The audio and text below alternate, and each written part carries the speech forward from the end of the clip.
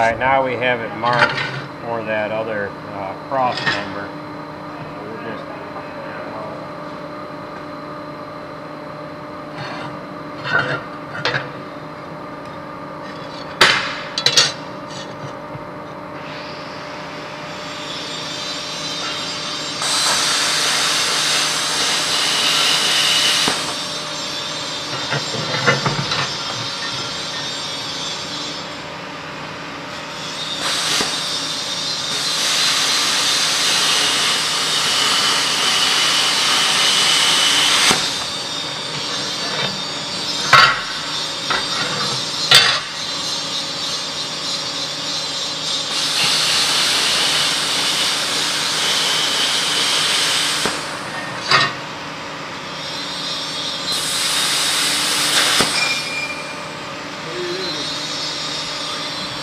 Yeah, hold the button. There should be a button on the back side.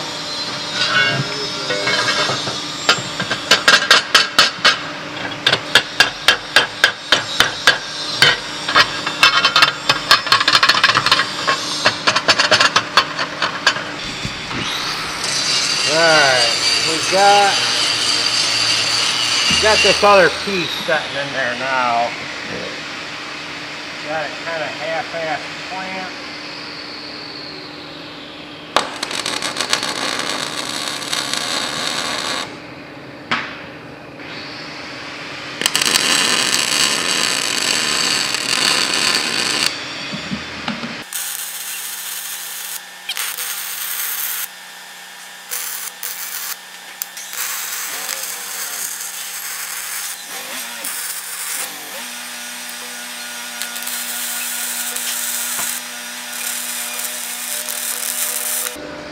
plant. Alright, we've got the uh, left side done.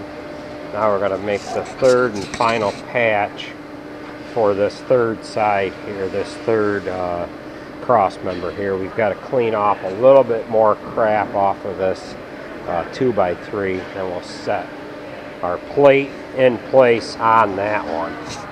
So we're going to come over here, we're going to get our plate marked out and cut it and then we'll set it into place. Okay, we're going to weld this third one in.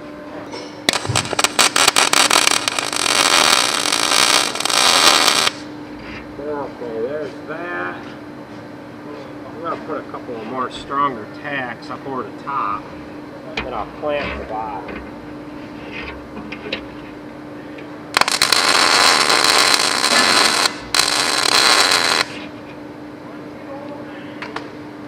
Alright, now we're going to clamp the bottom. Alright, we've got all three patches on there. The center one was probably the worst one because it was um, it was all broke out on this one side and I had the metal all ripped and I had to cut the metal out of the way so I ended up having to stack these pieces in there just because there wasn't enough of this 2x3 left. Now the other thing I could have done is let that alone and went alongside here with something and alongside there and you know we'd be doing about the same thing. Same thing with this one. I had to put a gob of half inch uh, rod in there because that had that so fatigued that it was uh, the piece of metal was out to the front here. I had to cut the piece of metal off to get it so that I had a flush area to mount this plate to. Therefore, it opened up that back side there. Now, this side over here was probably the cleanest one. I was able to just saddle over the top of that, stitch the plate on there, and then I welded the uh, 2x3 cross member to that. Now we're we're pretty stiff here now. This table um, rotates in the back. There's a center uh, pivot right there, and then we can raise or lower. We, we can raise we can raise one side and lower the other, vice versa. There's a hydraulic cylinder um, on this one side. You can raise or lower the platform depending on which side of the unit that you're gonna um, go out of. Now we're gonna set um, all these little center uh, idler wheels on there and um, get the, the drive end on, and then we'll go ahead and we'll um, get the idler end on the, the belt tensioning end. All right, we're gonna get these wheels on there now. I'm gonna spray ah, these shafts first. In the past, uh, we have just got new shafts, and that's what I should have done. I should have bought brand new shafts and just cut them off and welded the new ones on. I spent more time cleaning the uh,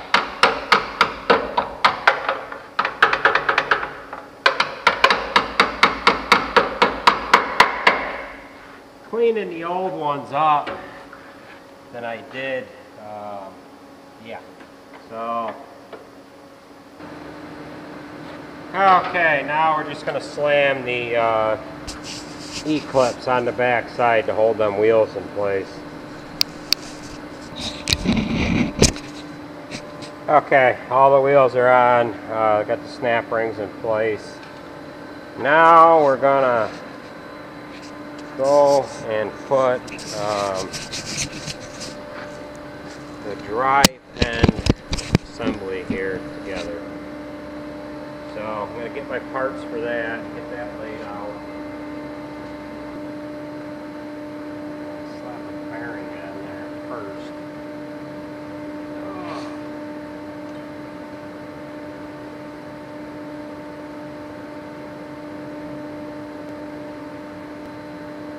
Got the keyway in there. Now I'm going to put the drive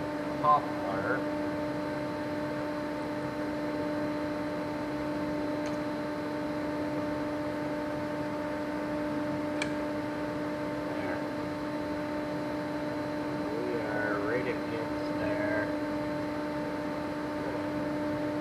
Set up my set screws here just a little bit. Just so that we're in place there. Alright, now got to find my other bearing. Okay.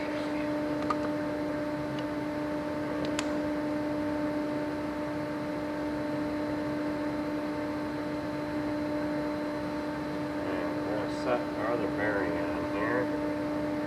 Like this. Now, we should be able to set this right in on there. Okay, now we are going to set the drive end into place. Greaser on the back side. I make sure I get that in place there.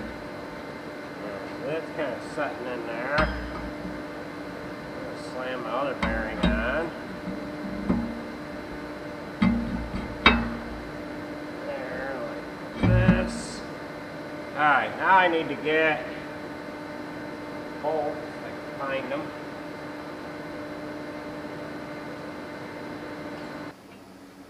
Alright, so we're just gonna bolt this in. And then once we get this all bolted in, uh, we'll put our drive motor on. So I'm gonna get the bolts, I'm gonna finish putting the bolts in this and then uh, we'll put the drive on, drive motor on. Okay, I've got the bearings tight on each side of the drive end.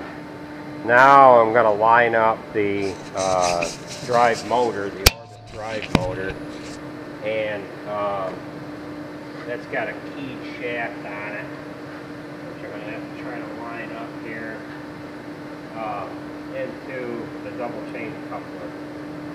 Shouldn't be too hard of a job, but almost need three hands.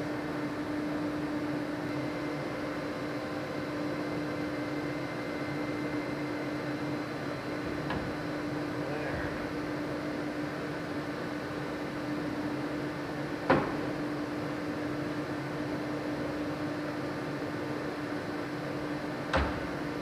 Okay, so we've got the uh, motor and the coupler finally came together. Okay, so that's going to do it for tonight. I've got the drive end done. Um, bearings are tight. All I lack doing is tighten up the set screw with where that drive coupler goes on to the orbit motor. Um, I've got to wait until I turn that. I'll get somebody to help me so I can get that lined up. And then um, tomorrow we'll go ahead and set our, uh, our other bearings on here with our idler end. I've got a new idler end there and then I'll get somebody to help me throw that new belt up in place and then all we got left to do is put these uh, the front and rear panel on um, and then that'll be done but here is the old idler end here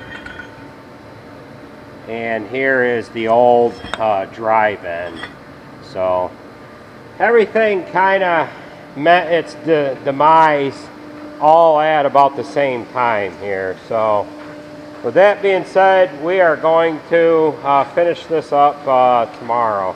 It's uh, Friday night now, and I'm to call it a night. It's just about 6.30, so I'm to get in, get a shower in, get something to eat, and uh, maybe sit in the chair and watch a little YouTube, all right?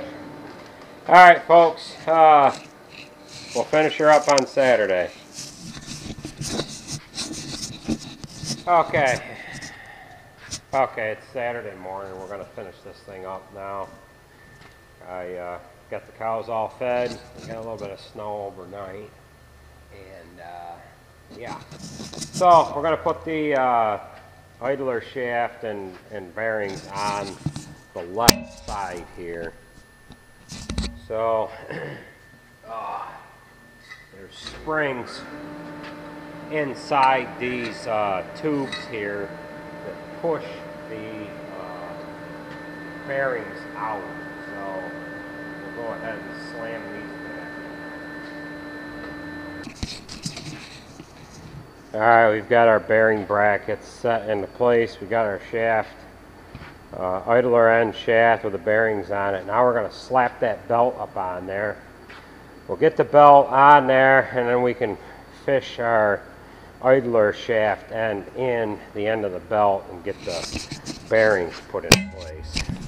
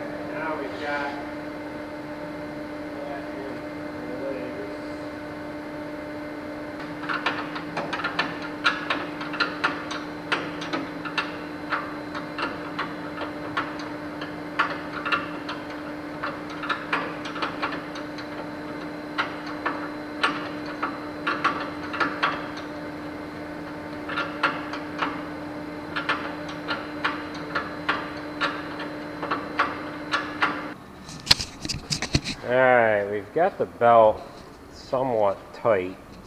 Now I'm just going to reach in here and just going to mark this. Um, oh, I got to mark this coupler here because I haven't. Where's my pencil? Yeah. I haven't. Uh, I'll put a mark right there. I haven't tightened that set screw. So that set screws tight and so is the other one but I've got to tighten the set screws on that coupler on the motor side. So we're going to let this run, let the belt tensioner adjust to itself. That's spring loaded.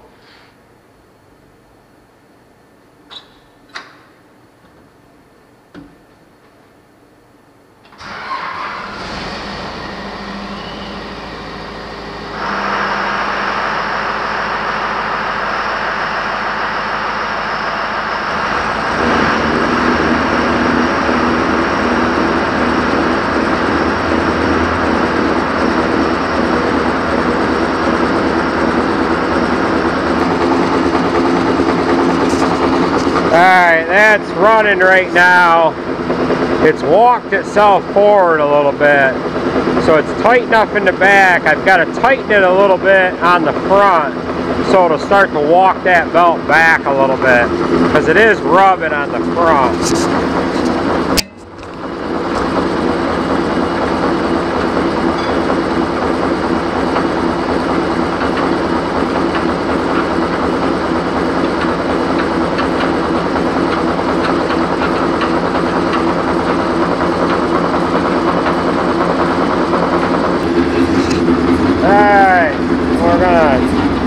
Adjust them up a little more and that's going to do it.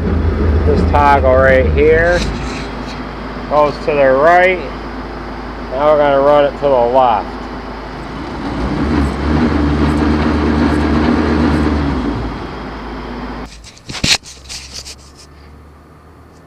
Alright, I've got the belt um, is all on there. It's adjusted right. I've got the set screws tight there bearings are tight on the drive end bearings and um, belt tensioners are tight and the, and, the, and the, belt is adjusted where it needs to be. Now I'm going to put the little wear skirts on. There's one that goes on in the back here that comes down against the top of the belt to kind of keep the sand from making it off the edge of the belt. There's one that goes on in the back and then there's one that goes on in the front. I probably could have used um, these old ones over again, so I'll save them. I do have um, some new uh, strips here to put on there, so we'll go ahead and get that um, ready to set in place. Okay, we've got the um, back on, now we got to do the front. This strip just keeps the sand down on the belt. So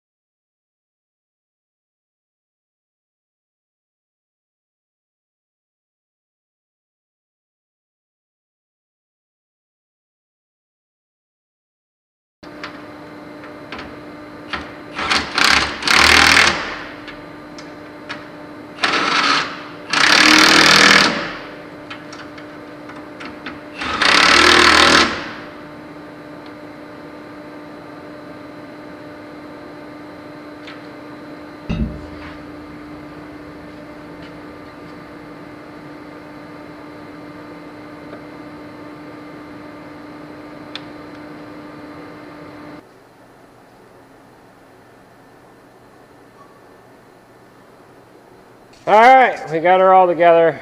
I'm gonna run some grease in there and then we'll run it. And then after that, it should be good to go.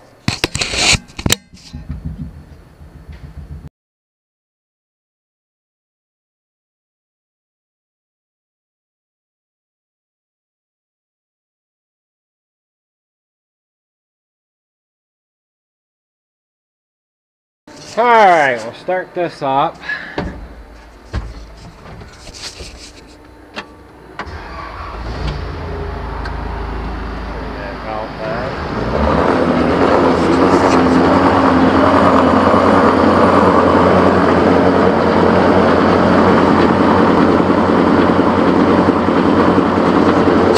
That looks a lot better. Uh, that was tipping down quite a bit before. But we got to put sand in on Monday. It's now Saturday now. And uh, we'll let him get sand put in and then we'll uh, adjust this belt up for him. That should do it for this video. Hit the thumbs up, leave me a comment down below, subscribe if you haven't yet already. Thanks for watching, folks. We'll catch you at the next video.